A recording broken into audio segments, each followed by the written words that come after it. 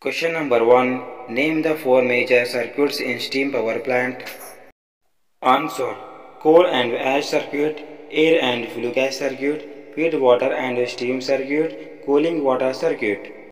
Question number 2. What consists of air and flue gas circuit? Answer. Air and flue gas circuit consists of forced draft fan, air preheater, boiler furnace, superheater, economizer, dust collector, induced draft fan and chimney. Question number 3. What consists of feed water and steam flow circuit in steam power? Answer. The feed water and steam flow circuit consists of feed pump, economizer, boiler drum, superheater, turbine and condenser. Question number 4. What consists of cooling water circuit and coal and ash circuit in steam power plant? Answer. The cooling water circuit consists of a pump, condenser and cooling tower. The coal and ash circuit consists of coal delivery, preparation of coal, handling of coal to the boiler, furnace ash handling and ash storage. Question number 5. What is the main purpose of the reservoir? Answer. The main purpose of reservoir is to store water received from catchment areas during the rainy seasons and supply the same during the dry season. Question number 6. What is the main purpose of the dam? Answer.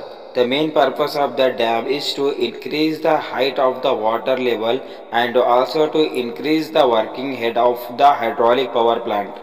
Question number 7. Why trash rack is used? Answer. The trash rack is used to prevent the entry of debris which might damage the turbine runners and choke up the nozzle of impulse turbine. Question number 8. What is the use of surge tank? Answer.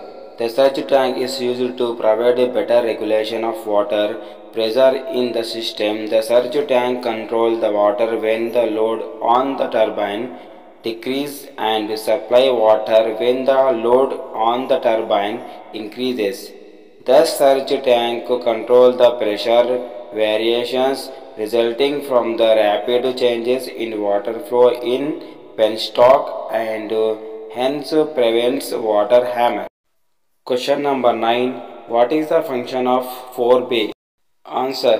Forebay is considered as natural provided surge tank it is temporary water storage when the load on the plant is reduces and provide water for initial increment on increasing load.